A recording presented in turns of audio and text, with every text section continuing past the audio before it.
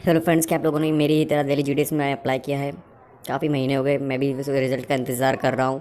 और अलग अलग वेबसाइट पर जा करके मैंने देखा यूट्यूब चैनल्स पर देखा, लेकिन कोई ऑथेंटिक इन्फॉर्मेशन नहीं मिली।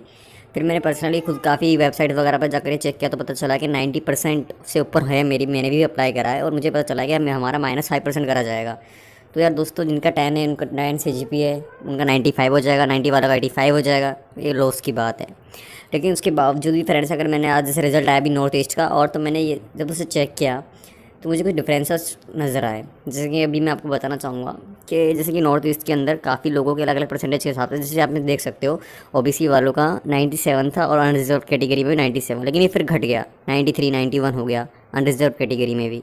तो फिर एकदम से अनरिजर्व कैटेगरी का ही रिज़ल्ट आया एटी एट परसेंट पर ही। और फ्रेंड्स रही रिज़ल्ट की बात तो जैसे आप देख सकते हो, जैसे कि नॉर्थ ईस्ट का रिज़ल्ट अगर उन लोगों ने पब्लिश किया है तो फिर हमारा भी रिज़ल्ट आने ही वाला है जल्द से जल्द। लेकिन फिर भी अगर अगर उनसे पूछा गया था जब ट्विटर हैंडल पर पोस्ट ऑफ़िस वाला से तो उन्होंने बोला था जून तक आएगा। लेकिन अभी नॉर्थ ईस्ट का है तो शायद हमारे भी पुरसुल चांसेस हैं कि नेक्स्ट वीक तक आ जाना चाहिए रिज़ल्ट सो गाइस और कुछ नहीं और अगर मेरी तरह आप लोगों ने भी अप्लाई किया है इसमें तो आप नीचे कमेंट बॉक्स में अपनी परसेंटेज के साथ ज़रूर कमेंट करें।